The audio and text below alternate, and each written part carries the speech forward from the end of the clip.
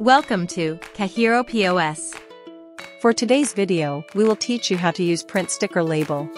To use the sticker label, you must first add it in the printer.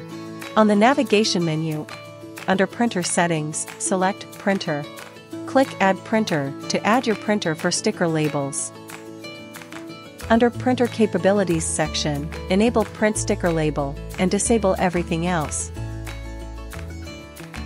Once you've enabled your print sticker label, your printer is now set to be a sticker label printer, and a new spaces will appear to input information related to sticker label printers.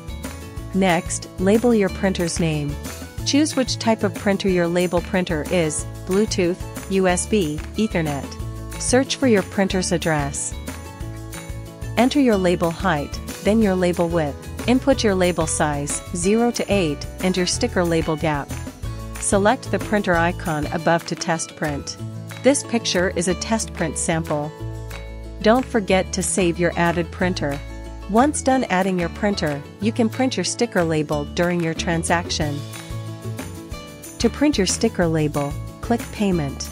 Click on Set Sticker and select the item you want to print sticker label. Then save stickers.